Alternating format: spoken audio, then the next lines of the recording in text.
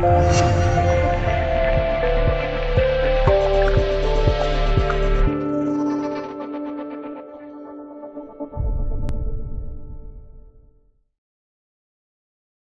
本是一个心机很深的国度，其心里想做的事，嘴上基本从来不说。日本人心机之深，尤其体现在军事上，不旋而战和偷袭，基本就是日本历次战争中的惯用伎俩。即便是在偷袭珍珠港时，日本人仍摆出了一副和美国进行外交和谈的嘴脸，以致罗斯福总统做出了这样的评价：从来没有见过这么虚伪和无耻的国家。战后，日本在美军的看护下，也确实夹着尾巴低调了一段时间。不过，正所谓本性难移，当日本的经济在战后实现起飞之后，日本人的军事野心又开始膨胀了。而美国人睁一眼闭一眼的纵容，也加快了日本军事复兴的步伐。虽然日本现在没有名义上的军队，但是日本自卫队的综合实力排名已经可以跻身世界前十名。日本正大力发展军事力量，不过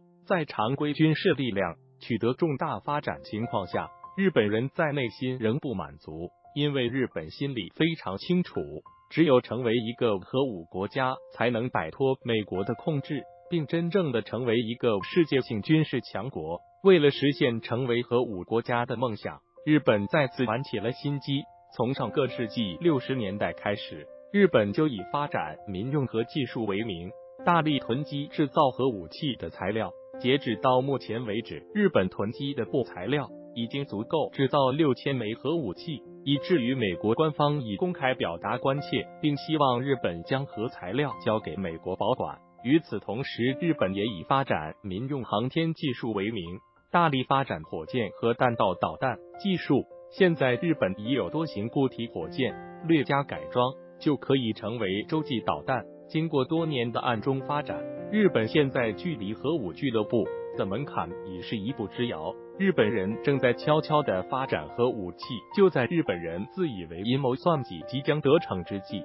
德国人一句话让日本人的梦想彻底破灭了。就是刚刚过去的几天，德国政界有人放话称，德国也应当发展核武器。德国人的言论立刻引发了欧洲和世界的强烈震动。因为德国一向被视为二战法西斯国家改造成功的典范和好学生，现在这个典范和好学生竟然公然开口要发展核武器，这不仅让世界所有爱好和平的国家对前法西斯国家感到了警觉，改造典范德国都发出了拥核言论。当然，又也有人为德国核武器基础材料远逊于日本，发出这类拥拥核言论，更多的只是一种情绪性宣泄。但是这也足以引发各世界大国对前法西斯国家的警觉，并加强对这些前法西斯国家的核武管控。首先，最感到压力当属美国，因为美国深知德日二国，所以能被美国控制。